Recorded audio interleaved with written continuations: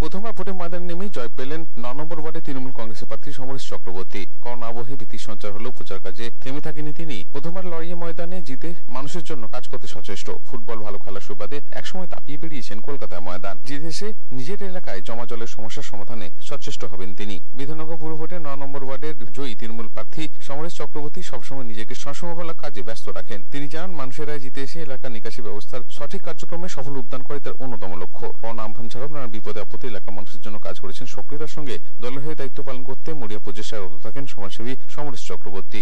এদিন জিতে এই জয়কে উৎসর্গ করলেন মামাটি মানুষের প্রতি। তিনি বলেন, এই জয় সাধারণ মানুষের জয়, এই জয় মুখ্যমন্ত্রী মমতা বন্দ্যোপাধ্যায়ের জয়, এই জয় তার উন্নয়নের জয়। না, একদমই তাই, তুমি ঠিক কথাই বলেছ। সেটা হচ্ছে আমরা সারা বছর মানুষের পাশে থাকি। তো মানুষের উপর আস্থা আছে, ভরসা আছে।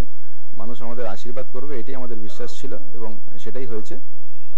আগামী দিনে যেভাবে বিগত দিনতে মানুষের জন্য করে এসেছি, আগামী দিনে সেইভাবে মানুষের পাশে থাকতে চাই, মানুষের জন্য কাজ করতে চাই, আমার দলনেত্রীর নির্দেশ পালন করতে চাই।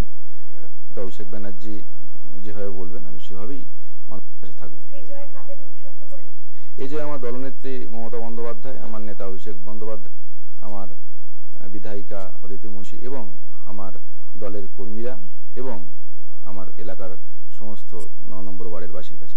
ভীষণ ভালো লাগছে আমার সমর্থন করছে, দায়িত্ব বেড়ে গেল।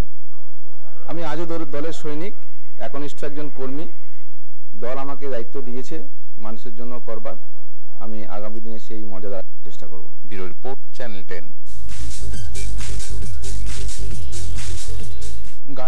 গায়ে সবুজ অন্যরকম বিয়ের অনুষ্ঠান যেখানে একশো জন পাত্রপাতি ছাদনাতলা